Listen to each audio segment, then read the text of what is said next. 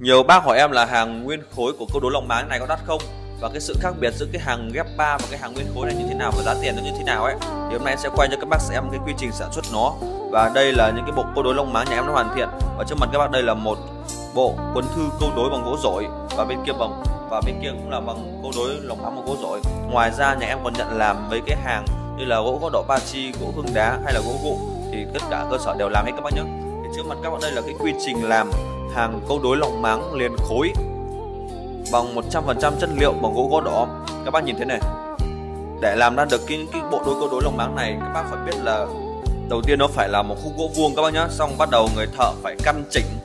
và đo đạc làm sao để có những cái góc cạnh góc bo cho nó phù hợp với cái cột của nhà các bác. Thì khi các bác đặt những cái sản phẩm là hàng câu đối lòng máng liền khối này thì các bác nhớ cho em là cái vòng vách của cái chu vi của cái vòng cột đấy, thì nhà em đo và thiết kế ra những tấm ván làm sao nó ôm vừa khít cái cột của nhà các bác.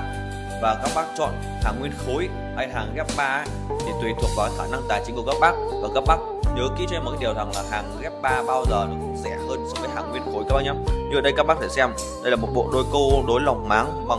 gỗ gõ đỏ pachi thì các bác có thể thấy là những cái đường vân như vậy, những cái vạch vôi xám ở trên cái thân gỗ này, các bác nhìn thấy này. Và đặc biệt các bác nhìn thấy những cái đường chỉ chạy dọc và chạy theo hình vòng cung của cái cây đầu lồng máng này, thì đầu tiên là nó một hàng, là một cái cục gỗ nguyên khối các bác và người thợ phải dùng những cái máy xẻ để xẻ ra những cái phần thừa và vứt đi. Sau đó người thợ lấy thêm một cái máy gọi là máy cuốc, theo đúng cái chuyên ngữ để cuốc những cái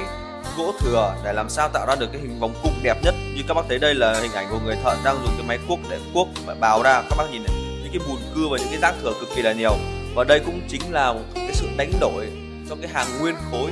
và vì sao cái hàng nguyên khối nó nhiều tiền hơn thì các bác có thể nhìn thấy rõ đây, nhiều công thợ hơn và nhiều cái phần gỗ vứt đi hơn. Nhưng mà nó đảm bảo cái tính chất gỗ và cái vẻ đẹp của hàng nguyên khối độc quyền cho những người nào mà các bác nào chịu chơi, chịu bỏ tiền ra các bác nhé.